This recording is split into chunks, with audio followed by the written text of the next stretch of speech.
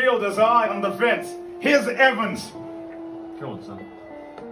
That's it. They're home. It's gonna be one. Will it be two?